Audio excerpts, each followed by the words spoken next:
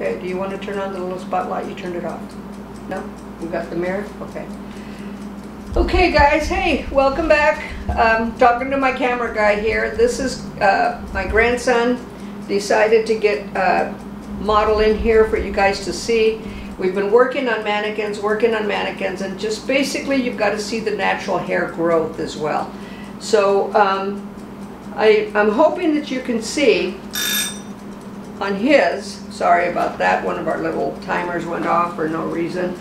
Um, you can see where the parietal line is at. And his hair is cut specifically right to the parietal line. What I'm going to do is I'm going to take it to the lower ridge for you to for you to also see that. But what I want you to notice, this is where the cowlicks are. See, natural hair growth has a natural direction to it. And as we told you before, once we take this off, you're going to see the growth pattern along the lower nape, right at that area, again, behind the ear. So I'm going to get, and I've shared with you before, I prefer my Oster clipper. I love this thing. Uh, it's going to cut right through. You saw the other one kind of, um, when I did that first crew cut on the mannequin, it was kind of fighting me a little bit. This thing don't fight. It just does it for you. So I love it. Uh, the blades are very expensive. So always clean them afterwards. Make sure that everything is, is organized for yourself. But the blades, instead of guards, you have your blades. All right, so uh, best investment ever. All right, so what I'm going to do is I'm going to start at the flat part of the head. His hair just combs up, so I don't have to worry about clipping it. Uh, this is how we've been cutting it in the past. So we're going to take it, you're going to brace, bring it from the perimeter line up to the parietal line. Now one thing I want you to notice, this flat part is going straight up. I'm not angling it into it. I'm going straight up to the parietal line. And I'm actually just going straight up. Remember the other one we were carving out? This is going to go straight up because we're taking it we already know we're taking it to the parietal line. Now I'm being cautious here because I want this hair just above the parietal line to be a little bit longer. You notice this clipper's a little louder too. That's that little motor driven in it. So I'm going to use my finger to pull his hair down, his ear down, to travel around it. I know some people do this. You can do either one. Depends on how it grows. Now this is a three and a half that I'm using on him. So it's coming in, yeah, three and a half. So it's coming in a little tighter. So he grows nicely in the back. So he grows towards towards the ear over here. It doesn't grow up, it lays down real nice. He's got a real nice growth pattern. So it makes it a little bit easier. That. Okay, I'm stuck here. Hang on a minute. on the, there. Okay, so I'm going to comb this down, pull this up at the parietal line. But you can see now, as I pull it up, I hope you can see that forward growth pattern in this area. Why are you laughing? See, this is what happens when you take care of family. They drive you nuts. I always tell my students, don't charge family, don't charge friends. They're going to talk about you anyway. Okay, now see that forward growth pattern, which is a little bit different than the other side. The other side goes straight down. And because I know exactly where that parietal line is at, I'm not guessing. Now, the thing about clipper cutting, I want to show you something. Okay, if I wanted to do a mohawk, there's that area behind the ear. There's this area behind the ear. And do you see where our mohawk is centered? Right at, that's a perfect, perfect measurement. If you know where the area behind the ear is at on each side, you've got a really, really good start on your mohawk. Uh, we're not going to do that on him. I'm going to shift his head forward a little bit. Now he grows again to the side, grows nicely, it's got a really good growth pattern there.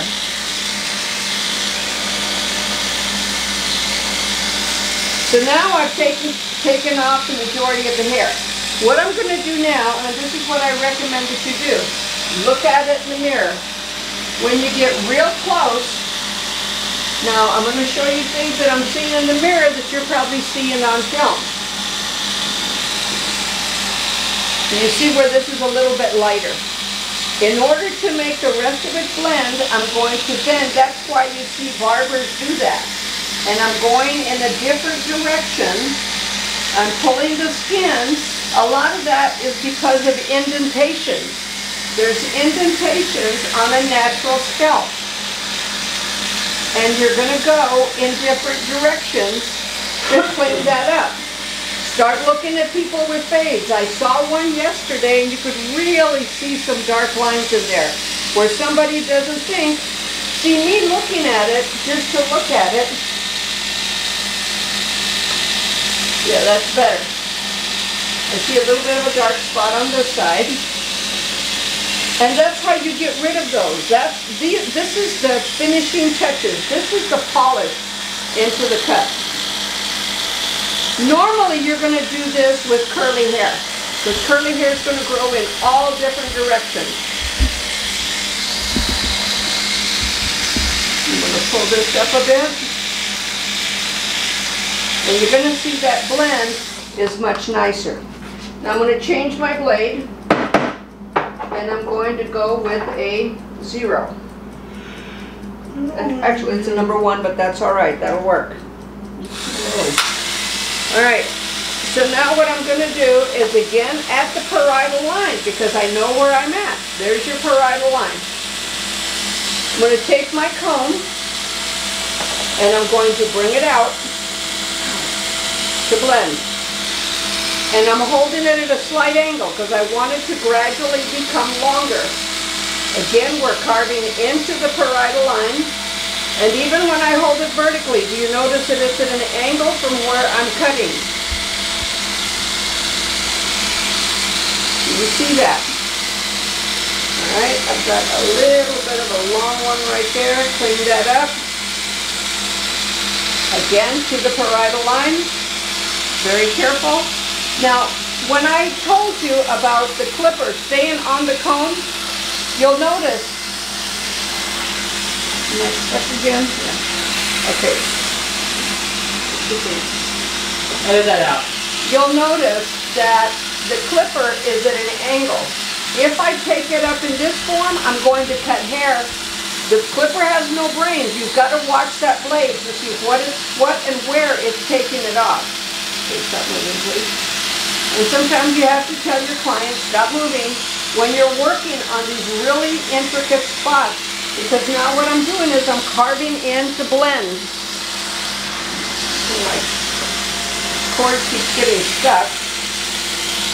Okay, I'm gonna, then remember side to center, side to center. Again, take it, turn it at an angle. Okay, don't cut. If they're moving, don't cut. Now, remember, it stays on the blade. If I had kept it in this form on the blade, I would have created a line right here. So watch your clipper. Make sure that it's only cutting the hair that you want it to cut. And it's best that the clippers stay above the comb, in other words, up on the comb as opposed to down on the comb. Because that's when you're going to create those bald lines or those very uh, bad haircut lines on the bottom there. All right, so now that we're at the rounded area, I'm going to tilt this head forward because I want to see it. I'm going to then subsection, there's the vertex. So I'm going to cross over the vertex on this side and then cross over back the other way. It's going to create a slight V in there and then we're going to get rid of that. Alright, and I'm trying to do this so you can see it. I'm going to take it, well you're still not going to be able to see it as clear. That's what I want you to, but I also don't want to take off anything we don't need to take off. So, okay, let me, I'm just going to have to do it because uh, still a little bit of a corner, a little bit of a hard line right there, and that's all I'm getting rid of. So I'm just barely using, I'm just using this part of my clipper at this point, not the whole blade. So I'm going in and just, just using this little edge right here to clean that up. So I have my clipper at a slight angle, slight angle, see it? And that's all I'm doing is I'm carving into it like that. And these are the polishings that you do. This isn't just taking a clipper and going up and then trying to cut it with your hands up on top. These are all barbering techniques, by the way. So you're not just learning how to cut. There's, there's some barbering techniques here. Okay, so we're pretty much done with that right now. So what I'm gonna do now, I'm gonna show you how to trim. Oster, like I told you, I'm an Oster person. I prefer it. I put my finger on his ear right there. Now, here is the trick. Your hand becomes a pivot.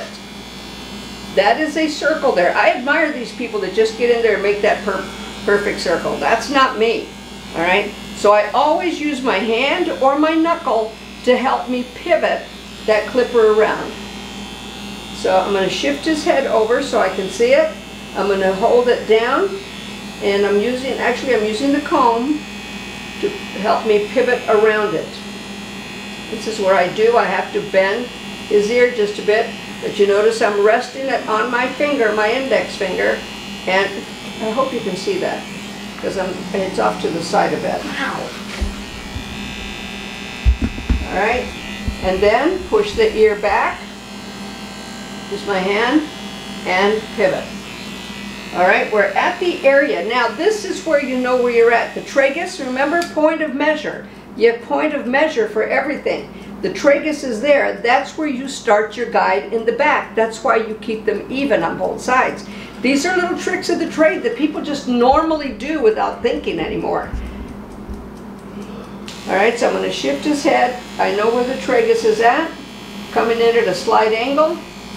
And then I'm taking it down to the end of it.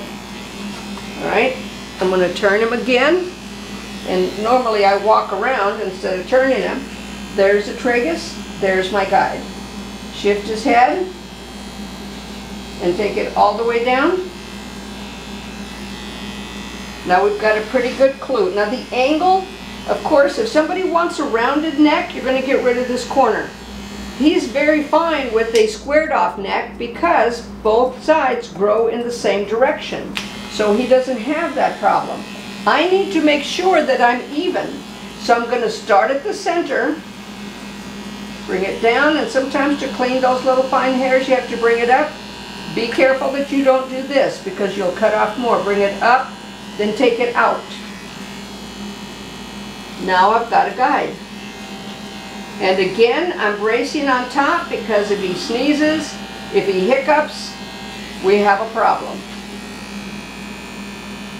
There's a film on um, Big Bang Theory, and the blonde is cutting Sheldon's hair. And when she does the neck, at one point he giggles because it tickled him. Well, yeah, there ends up being a shave spot there. That's why you brace. She wasn't bracing, she was just cutting. But that is exactly why you brace. Now, I will tell you though, that accident became his fault and not necessarily hers. So you can see that that rests real nice along there. And it's a, it's a decent cut. Okay, I feel like I need to take off just a scotch more. That's where you stand behind it, look at it, see what you got. There. Looks good. All right, so the top now, again, what did we learn on the on the 180? You're going to be using the 180 a whole lot when you're doing short hair. It becomes a common factor with it. And uh, now you know that I'm going to use my shear because I'm wetting it. I never use my clippers on wet hair. The most it'll be is on damp hair. Now his hair has been continually cut front to back and you can see that it stands up. That's why it stands up. I'm going to come back around here, travel around it, keep spraying a little bit. Now, remember that forward growth? You can really see it now, and I'm really going to have to clean that up. So, because this grows differently than the other side, and that's the human factor. That's what you're going to find. So, you know, we weren't gonna take care of models till later, but this opportunity came up, because normally we just wanted to do, um, just uh, haircuts on the, on mannequins. All right, so now this is where scissor over comb comes in. You see this area on this side? It grows forward. So because it grows forward, it's going to go up. The other side grows differently. So I still want to keep them both the same, so.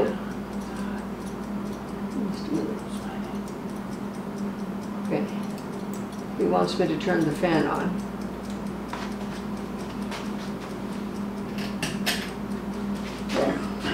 You gotta keep your customers happy. All right, so there you go. Just gently pick up only what I need. And you'll see that that's much cleaner as well. Even though that grows uh, it- uh, nicely enough to go up, and it's not a problem. Okay, now this grows down, but we're still gonna get it to do the same thing.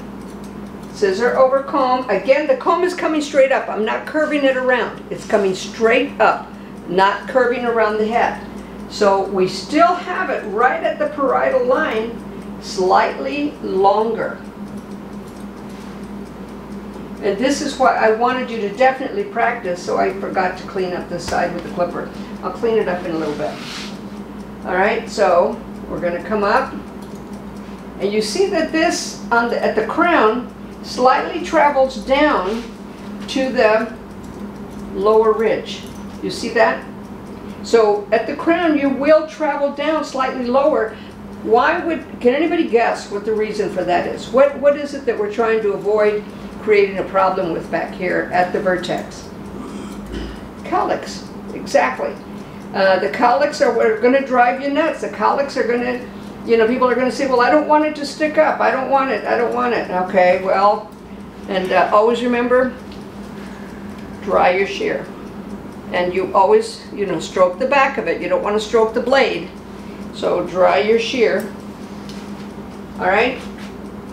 So right at the, where he's got his little cowlicks, and the hair's a little fuller there, I'm going to now take my texture shear. Your texture shear is going to give it direction.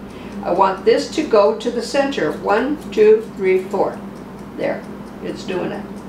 I want this little area right here that tends, is kind of trying to grow forward, whether, I'm not sure if you can see it or not, but it's just little tiny hairs. So I want them to go back. One, two, three, four. And there you go. It'll move it for you. The teeth direct the hair. Just don't take too much off because then you're going to have a serious problem. All right, in this area we're a little bit full. I'm going to shift his head over and I'm going to go one, two, three, four. There, now that cleaned that up. I've got a little bit of a thick spot here. And I'm just going to hold the comb vertically and just travel with it just like I'm doing scissor over comb and basically taking hair off. And now it makes it lay much nicer. Okay, to finish off the cut, now we're just going to do scissor over comb.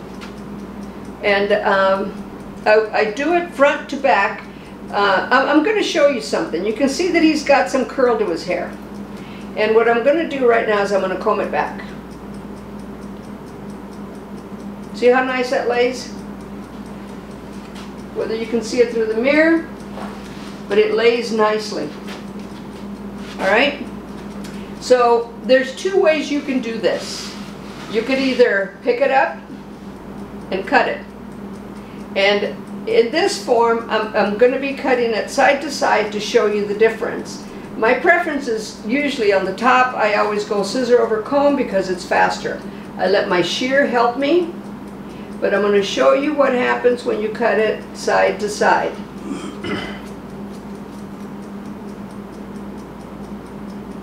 And we always cut his front to back. And I can see my guide. By the way, I'm not just cutting to cut. I have a guide that I'm following. And again, we've done this several times already, so you know what side to side is. And you can see that it's laying down. It's not perking up anymore. It just kind of falls off to the side.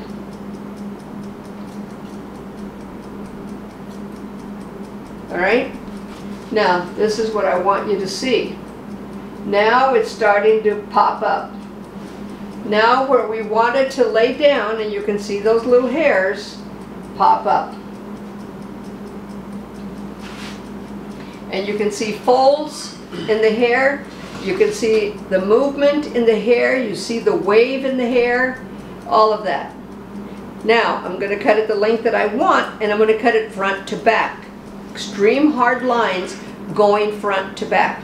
Again, scissor over comb. The reason I don't like to pick it up and do this is I want you to notice something. I'm picking up this hair on this side, this hair on this side is traveling to the center. The hair at the center is going to be the shortest. So what I like to do is, and you know, people will have their arguments about that. Well, you know, make thinner partings, all of that stuff. Uh, I just find that this is faster, it works better, and I've actually been in salons uh, that I've done demo cuts for and they've never seen scissor over comb like this, which doesn't make sense to me because they've been taught always to use your fingers to put it up.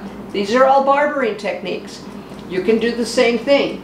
So what I'm going to do, and you're going to see it lay better, is I'm doing, and I, I'm following a guide. I mean, I do see my guide right there.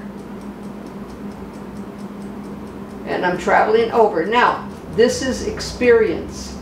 This is not just taking it and do it. That's why I'm telling you to practice with a mannequin. Look at the difference. You can already see the difference. The hair is laying down. It's got some nice movement to it. We're going to have a little corner back here, and I'm going to get rid of it. So that it lays down nicely for him. And you can see this side and the other side. Just lays, we don't have those little things sticking up, and they will. They will stick up. You see these little ones from, from before, and you can see it. The hair just doesn't do quite the same thing. So scissor over comb, front to back. And I'm traveling now to the parietal line, bring that hair over. And again, like I said, this takes practice. It takes experience doing this. If you want to hold it with your hands, please take very thin partings when you do that. Now he's laying real nice. Nothing is sticking up. Now I have a little bit of a wave right there and I'm going to show you how to get rid of that. Okay, I want to take care of this corner here. I have a little corner in the back.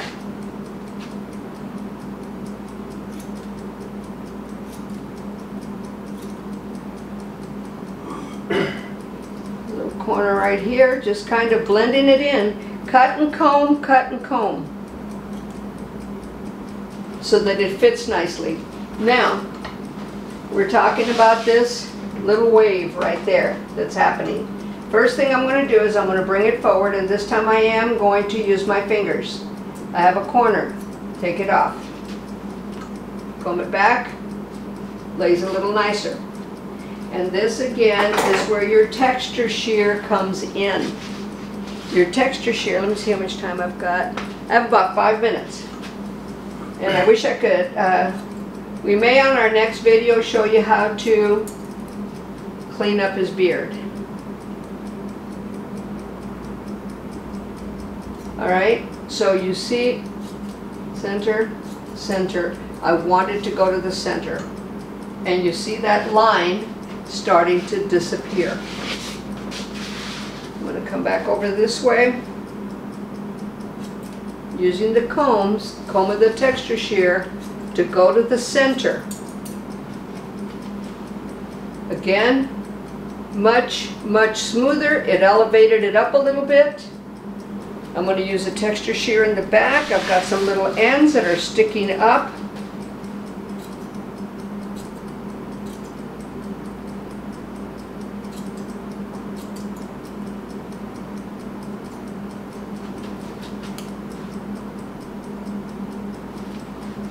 Okay, Again. I want it to go to the center.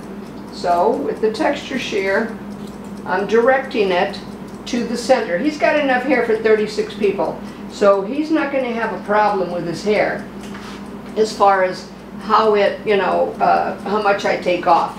I mean, I'm not going to make him bald with it. But one thing I want you to notice, that as I came to the parietal line here, the hair goes back real nice because it grows in that direction. I had to, I had to take it.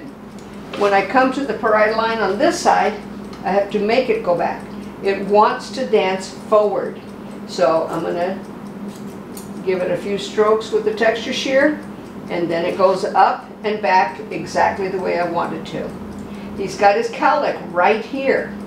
So I want that cowlick to do what I want it to do. So I'm gonna take it. I want it to lay down. Went real close to the scalp right there. And now it's laying down for me. So um, there's so many things that you can do with scissor over comb cutting. So many things that you can clean up. Go around, use my finger, half circle. You see my fingers holding the ear and serving a dual purpose, allowing me to create that half circle. And here I'm just kind of eyeballing it. Another thing that uh, you learn with the clipper cutting is lining up the hair. And brace before you do it. You see that nice clean corner that we have now. And some people like the front of their head lined up. I'm Gonna line up his other side here. Turn his head a little bit so you can see it. Pull the skin.